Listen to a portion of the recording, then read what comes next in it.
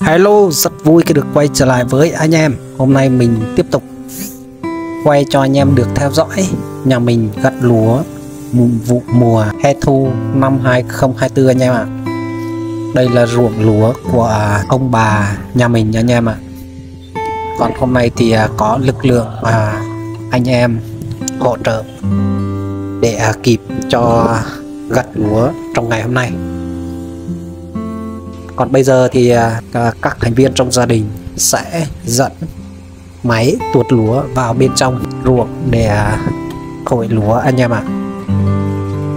Đây là máy được thuê lần đầu tiên sử dụng ngay tại quê mình. Xin mời anh em theo dõi cách mà gia đình mình sẽ đưa máy vào bên trong đây là em hậu một trong những kỳ cựu à, sử dụng máy à, thổi lúa.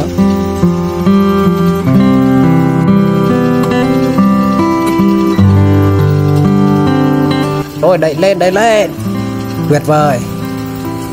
Qua rồi cửa ải khó khăn.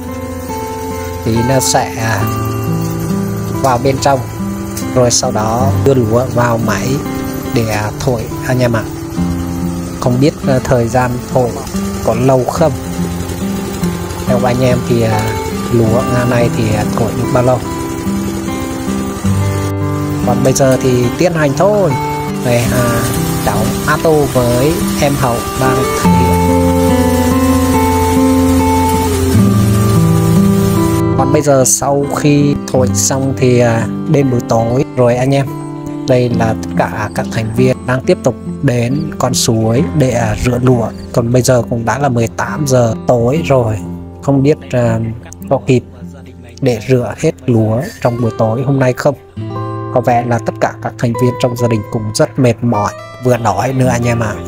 nhưng mà vẫn cố gắng để tí nữa rửa xong sẽ được uh, về ăn. Rồi cố gắng thôi các thành viên bây giờ cũng đã là 18 giờ tối rồi không rửa thì để cho ngày mai cùng mệt mỏi hơn nữa.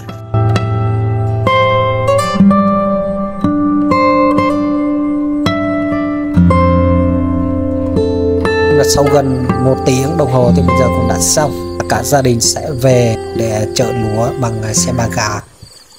À, xin mời anh em tiếp tục theo dõi.